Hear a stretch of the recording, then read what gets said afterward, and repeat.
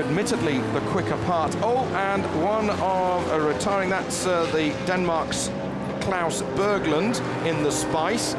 Coming into the complex. Contact. That's why. No! With the 77. Oh, well, with the Christopher Cat in the, his uh, Spice. The Cat probably getting away with it. It's the uh, Damax uh, prepared uh, car.